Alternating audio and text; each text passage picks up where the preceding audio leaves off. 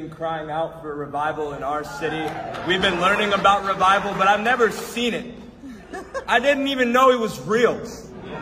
I'm like, I'm just sitting in class and they're telling us all these stories on college campuses and then going across the nation. And we're like, where, when is this going to happen? And then they lock you in a prayer room and you're just like, hey, you got to ask for it. And we're just sitting there like, God, I'm asking. What, what does it look like? And then all of a sudden, my friend Jaden says, dude, if Jesus just localized himself and just sat his throne in a room, how could we not drive six and a half hours to go see him? And we get here.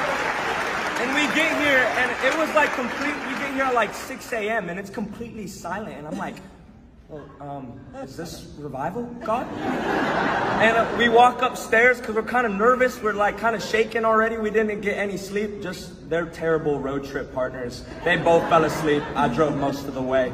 But besides that, we go upstairs and there's people like sleeping, and we're like, so this is revival, God? No. cool, this, this is awesome. And then chapel starts, and immediately we just see people flooding in. And God said, revival isn't hype. It's ordinary people who are hungry. It's ordinary people who are hungry.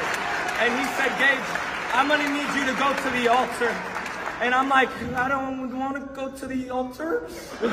and he's like, go to the altar. And I go to the altar and worship starts.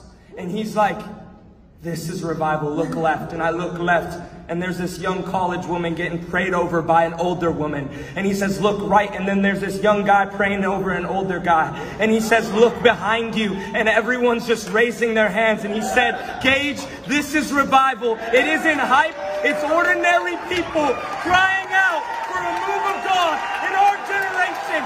And I'm here to talk to everybody in this room who is hungry. What an honor. What an honor it is to be here. Revival's real. It story we've heard about. It's come. And it's not just come here today, but it's about to spread out to the nations.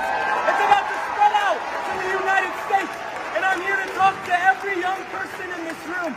I just gave my life a year and a half ago to Christ, and it has been the greatest thing I have ever done.